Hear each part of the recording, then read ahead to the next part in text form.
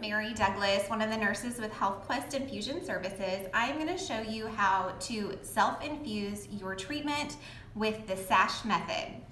In your bag that you get from HealthQuest, you will receive a uh, bag of normal saline syringes, which are white, and they come like this, and heparin syringes, which are blue, and they come like this. You will also receive a box of alcohol pads, and you will need four for each um, treatment.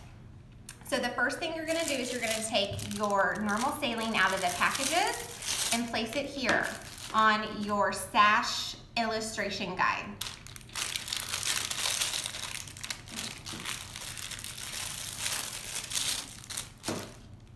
Then you will place your alcohol pads at each place that it says that there is an alcohol pad.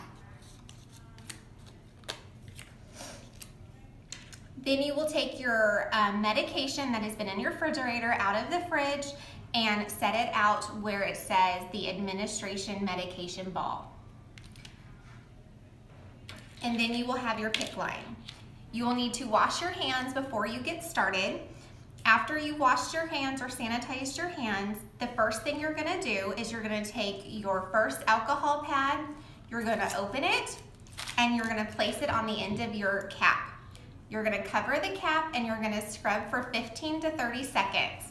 This allows us from introducing any bacteria into the PICC line.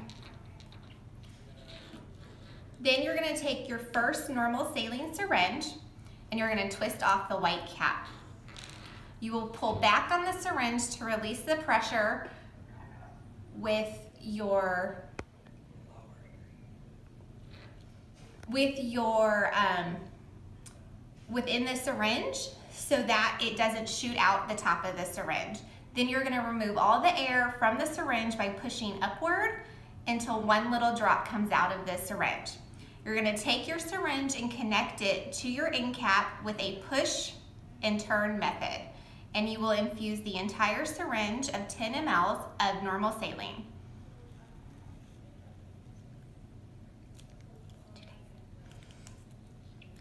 After that's completed, you're gonna take that off and you're gonna throw it away. Then you're gonna take your next alcohol pad, open and clean again for 15 to 30 seconds.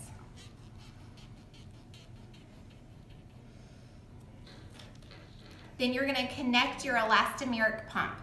Your pump will come and filled up like it's a grape size. You're gonna undo the white paper and take off the end cap that looks like an elephant ear. It twists off the same way that the normal saline syringes do. You're again gonna connect it with a push and turn method. Once that's connected, you're gonna unclip the white clip on the tubing and that allows the medication to self-infuse through pre-pressured solution.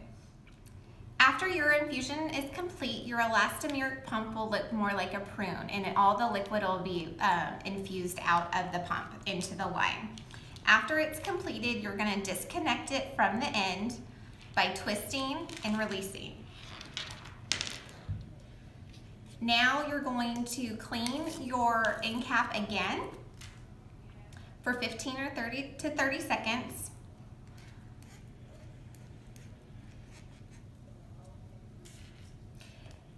Then you will self-infuse another syringe of normal saline.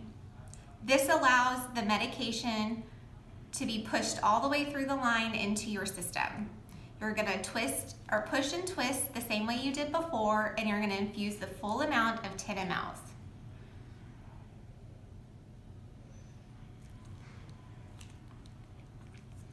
After that's completed, you're gonna throw that away. You're gonna clean the end cap one additional time, 15 to 30 seconds with the alcohol.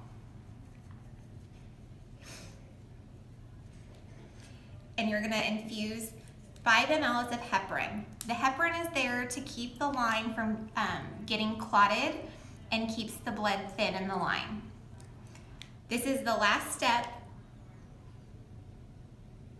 until your next treatment.